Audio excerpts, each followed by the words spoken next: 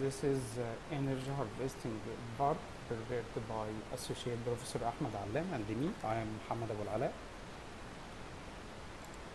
Our outlines are uh, firstly a brief introduction about energy harvesting. Then we will highlight on some of our rectenna designs.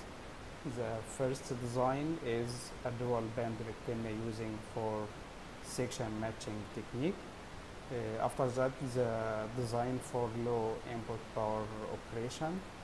Uh, then uh, rectenna for uh, data transmission is introduced using high gain triple band antenna for connecting and powering Internet of Things devices in a smart office. Uh, finally, the conclusion. This is a simple definition of energy harvesting. Energy harvesting can be defined as a process that collects the energy from the ambient environment and convert it into a usable electrical energy. There are many forms of the ambient energy. It could be light energy or magnetic vibration uh, or thermal energy or RF energy. Here we are focusing on RF energy harvesting. The reason behind our seeking to RF energy harvesting is that widespread use of many wireless systems such as TV broadcasting and mobile radio Wi-Fi systems. Thus, there is a large amount of energy that is was wasted so the demand for the harvesting and recycling the ambient electromagnetic energy increases. Also, there are many advantages of energy harvesting, such as uh, there is no need for battery replacement, uh, also um, uh, conserve power consumption, and generally it is a green energy. These two figures reveal the progress in the market of the energy harvesting technology in last few years. Here in this figure uh, shows the progress in harvesting of the most common energy sources, starting from uh, the light energy, which uses solar cells or uh, solar panels, and the brown one is for RF energy harvesting. There are mainly three categories of wireless power transmission. The first one is near field inductive or resonant inductive coupling or capacitive coupling, which is used for short range applications. The second one is far field directive powering that is used for far field using an intentional source. The third one is far field ambient wireless energy harvesting. This is also far field harvesting, but uh, from the ambient energy. Here we are focusing, on, in this study, we are focusing on far field energy harvesting. Rectenna was uh, introduced as one of the most promising uh, techniques to harvest the wireless energy Rectenna is a combination between the receiving antenna and the rectifier circuit. Uh, this is a general block diagram of the Rectenna system, starting from the receiving antenna, which is used for collecting the ambient RF energy.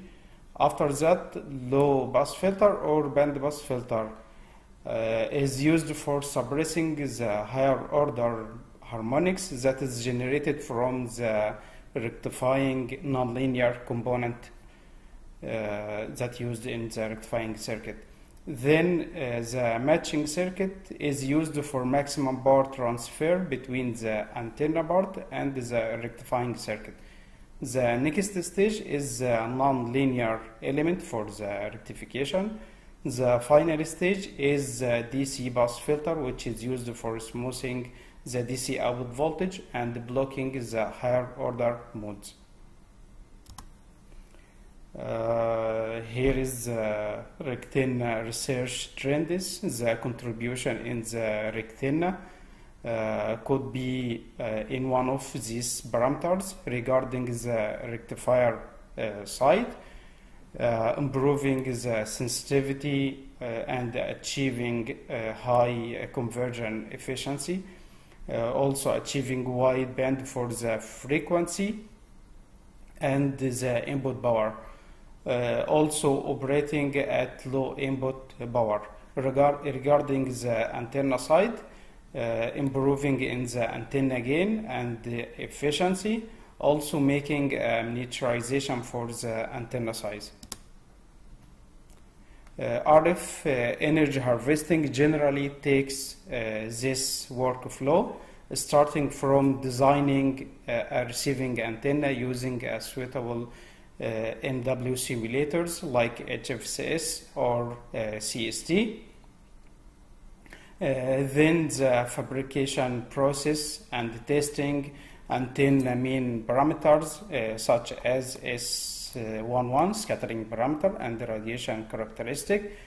Uh, the same thing with the rectifier circuit by choosing a proper circuit topology. It depends on the conditions of the operation. Uh, usually here ADS and it is momentum used in the rectifier circuit designing. After that, the integration between the antenna and the rectifier circuit to generate a proper uh, rectenna design using suitable matching uh, techniques. Uh, finally, the measurement of the rectenna parameters uh, like uh, RF DC conversion efficiency and the DC output voltage. This is uh, one of our designs, dual band rectenna using voltage doubler, rectifier and four section matching network.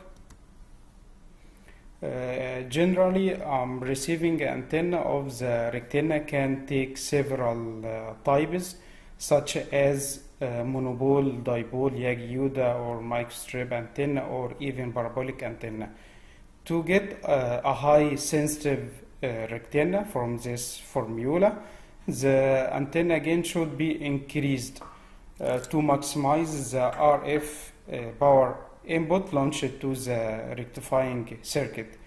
Uh, here is the P input. This is uh, received power by the antenna and here BD is incident power density and the gain for the receiving antenna is GR.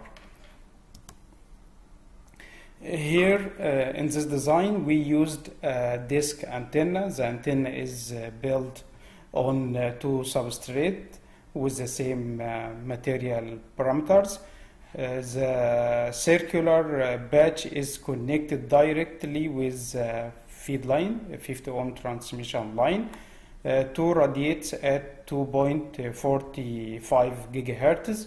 Uh, there is a ground plane between the feeding line and the circular batch.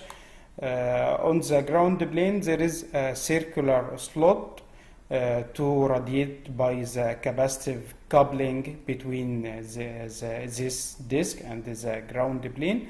Uh, two radiates at 1.95 gigahertz. And here is uh, substrate parameters. To achieve good radiation characteristic, uh, a reflecting plane is inserted behind the antenna element. Uh, in in this study, we we placed the the reflecting element at uh, lambda by 8 distance. Uh, then a defected reflector uh, structure is, in, is uh, inserted on the reflecting plane as shown here in this geometry to uh, get further enhancement in the gain as well as the front to back ratio. Uh, right here is 2D radiation uh, characteristics uh, the measured and simulation. Uh, this is for the antenna without the reflecting plane. Uh, it gives 4.2 and 5.5 at the two resonance frequencies with low front to back ratio uh, it is 3.4 and 5.6 dB at also the two uh, resonance frequencies.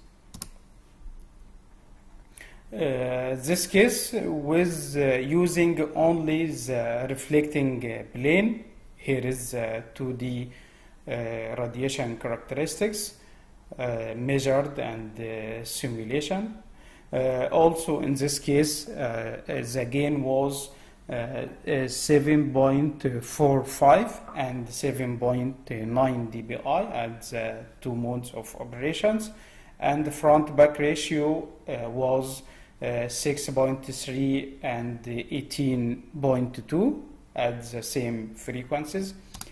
And this is the final uh, state which using DRS structure in the reflecting plane. Uh, the gain becomes uh, 8.3 and 7.8 dBi with uh, a good results for the front to back ratio at the two operating frequencies. Uh, here is the antenna reflection uh, coefficient for the three cases.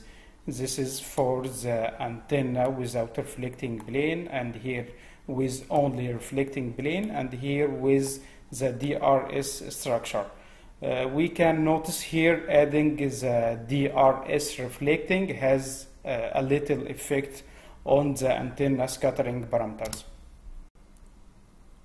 This is uh, a study of the antenna main parameters, the radius of the circular patch and the radius of the uh, slot that is mounted on the ground plane also the separation distance between the antenna and the reflecting plane. An equivalent model of the antenna was proposed to model the electrical behavior of the antenna.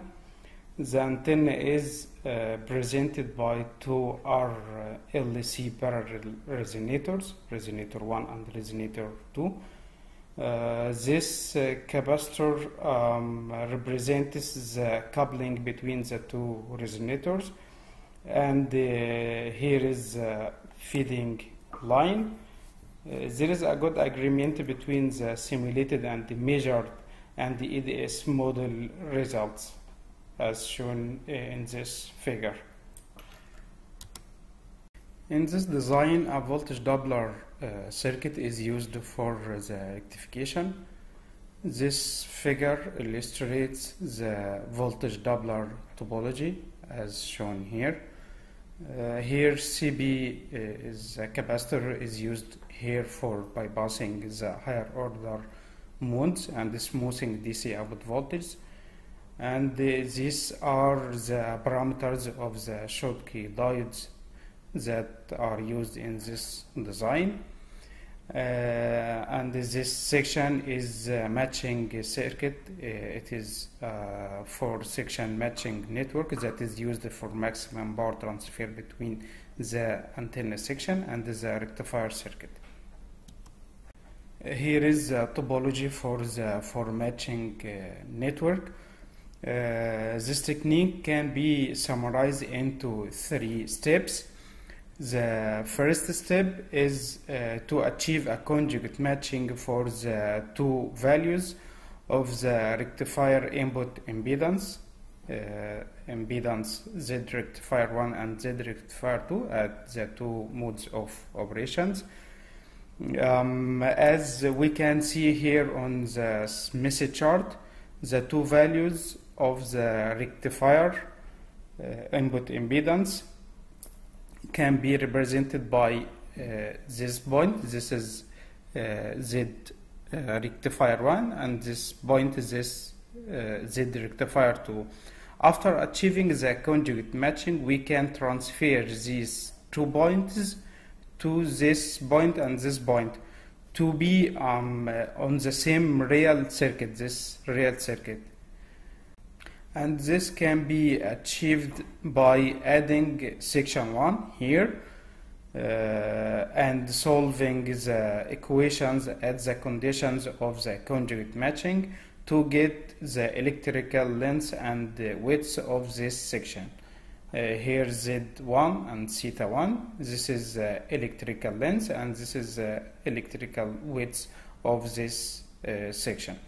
Then step 2 uh, by cancelling the imaginary parts uh, by adding this section to cancel the imaginary parts as shown here on the Smith chart these two points become at this point then L section used as, as a step 3. This L section used for real to real uh, impedance transformation. And here is the equations that used for each section to define the width and length. If someone needs uh, to know more about this technique, here is our paper that is published in WPTC Wireless Power Transfer Conference in 2018.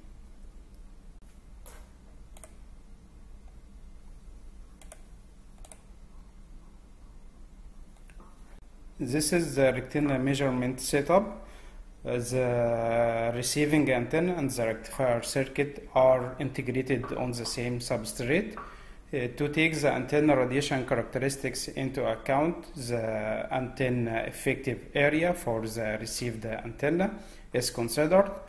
Uh, here is uh, RF DC conversion efficiency is calculated by B out over Bn. Uh, here is uh, B out uh, equals to the DC output voltage square by resistive load.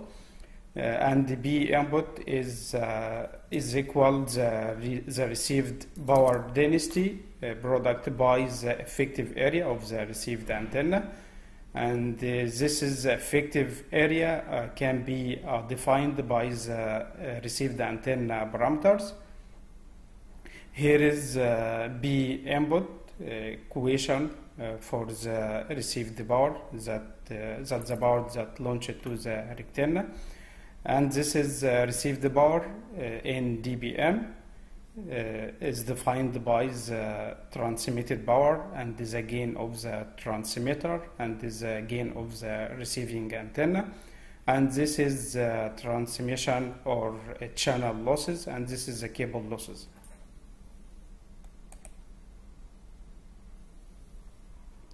This is uh, results for the rectenna uh, here is uh, conversion efficiency versus the input power at the first resonance frequency. Also, uh, in this axis, this is the DC output voltage. The same case for the second uh, resonance frequency is conversion efficiency and the DC output voltage versus the input, uh, the input power.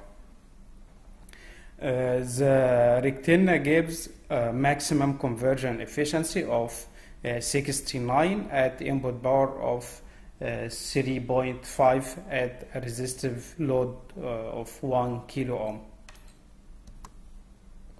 And here also the study of the uh, changing of the efficiency and the DC output voltage at different values for the resistive load. Uh, we study this with the input bar at also the two states of uh, operations frequency F1 and F2. This is another design CPW dual band rectenna for low input power energy harvesting applications. Quad band CPW monopole antenna is used for this design. The antenna consists of a split ring resonator loaded by a spiral strip uh, line as shown here in this figure. Uh, the integration gives quad band of operation as we will, uh, will uh, show that by the surface current distribution at each mode of operation. Uh, here are the four bands 0.7 and gigahertz and 1.4 and 2.7 and 3.2 As shown from the current distribution, the first resonance frequency comes from the total length of the split uh, ring resonator as well as the spiral line. Uh, while the second resonance uh, frequency due to the strong coupling between the inner uh, spiral uh, line and the outer split ring uh, the inner uh, spiral uh, line is responsible also for the third band, whereas the outer section is responsible for the fourth frequency band. Simulation and the measured 2D copolarization and cross polarization for E-plane and the H-plane at each mode of operation are shown here. Uh, there is a good agreement between the simulated and the measured results. And this is the system that are used uh, for the uh, radiation pattern measurements. We started the rectifying uh, circuit by characterizing the used uh, diode. Uh, here we use SMS 7630 uh, diode. This is uh, assigned for uh, low low power operation. by using this structure, this CPW structure, ground signal ground, and we measured the input impedance at 1 gigahertz. Uh, as shown from the Smith chart, we uh, built the matching circuit uh, at single frequency by inserting a series lumped inductor and parallel short circuit stub. We implemented the previous circuit using a spiral inductor instead of lumped uh, inductor to reduce the losses. Uh, these uh, are the results of the S11 and the conversion efficiency as well as the DC output voltage. We got uh, a conversion efficiency of 71 and at uh, minus 4 dBm and a good uh, sensitivity uh, reached uh, 40, 45 at minus 15 dBm. We used the previous design to make uh, the dual band by adding additional stub. Here, this is the additional parallel stub. The parameters show the operation at the two frequency bands here. Uh, conversion efficiency versus uh, frequency is shown here. Also, a conversion efficiency in addition to the DC output voltage versus the input power are shown in these uh, two figures and this is a fabricated prototype for the proposed rectifier. Harmonic balance analysis is used to make a study at different values of the resistive, resistive load. Uh, the maximum measured conversion efficiency is about uh, 74 and uh, 70 at the two modes of operations, F1 and F2, with low input power levels of minus 6.5 and minus 4.5 dBm. Also, the offers uh, a high sensitivity reached 47 and 36 at an input uh, power level of minus 20 dBm.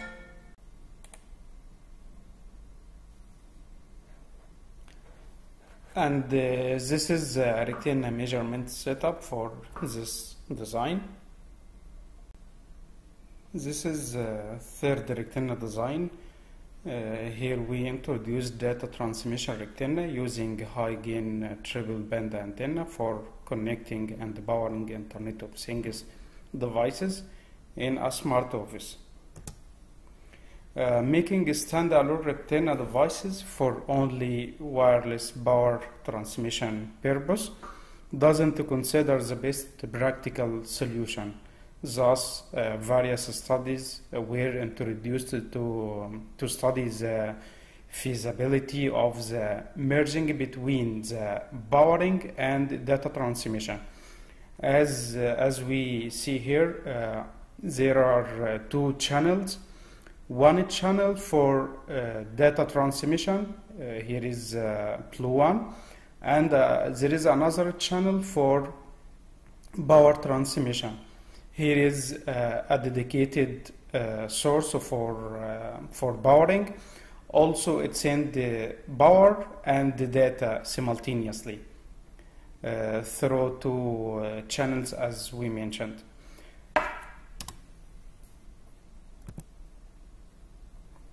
In this design we use four layers triple band antenna. Uh, this is uh, geometry for the proposed antenna. Uh, this this is a driving element which is consists of uh, the top layer and the bottom layer here and there is a reflecting plane and a directed uh, director structure as shown here. Uh, here is uh, design uh, steps for the antenna. We started with a square split ring uh, resonator as shown here and uh, by studying the modes of operation to choose the optimal dimensions of the split ring resonator to give the required frequency bands. Uh, we used a we used a characteristic mode analysis that uh, provided by CST Microwave Studio Simulator. Uh, after uh, determining the operation uh, modes, uh, appropriate excitation is used to excite the, these modes. We use here CPW um, feed, and the, as shown here in this figure, to excite two modes of operation. Uh, this L uh, feed for exciting one mode, and this is this uh, transmission line feed for another mode. The third mode uh, comes from this slot on the ground plane. This slot we inserted on the ground plane. Uh, and this is a fabricated prototype for uh, the driving element for the triple band antenna. Characteristic mode analysis results here uh, reveal that two modes of uh, split ring resonator are simultaneously propagating at around 3.5 gigahertz and 5.5 gigahertz as cleared from the eigenvalues here, eigenvalues results here. Also model significance here. Eigenvalues uh, represent the ratio of the reactive power to the radiated power. So it gives 0 at 3 point here in this location at uh, 3.5 and also there, there is another mode here uh, give uh, 0 at 5.5 gigahertz. This means the imaginary parts are equal to 0 at the two uh, operating modes. Uh, also, uh, model significance uh, refer to the influence of each mode in the total Uh, electromagnetic response when an external source is applied. Uh, when the model uh, significance is greater than 1 by square root for 2 for particular mode, this means uh, this mode is significant mode. On the contrary, if the mode is if its value is less than this value, so this mode is non-significant mode.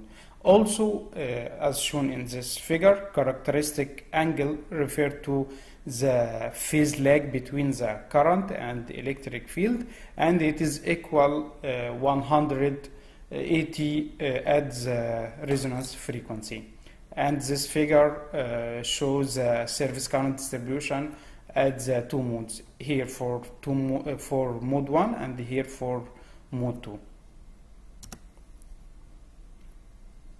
the, this the results for the reflection coefficient.